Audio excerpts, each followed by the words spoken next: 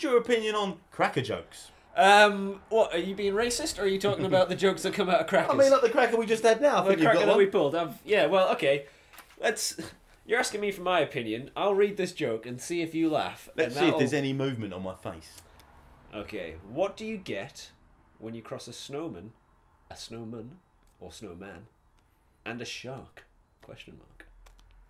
For those that don't understand the question, here it is. I wouldn't know how that would ever happen. But what? It sounds like it should be one of their movies, like uh, Octoshark, Snarkodo. Megalodon, Sharknado. Yeah. Uh, the answer's frostbite. Whose job is it to write them? I think my laugh then was a bit weird. Yeah, it was funnier than the joke. it was a bit scary. I even shocked myself. I've never done a pretend laugh until just then. Wow, world exclusive here on Mini Means.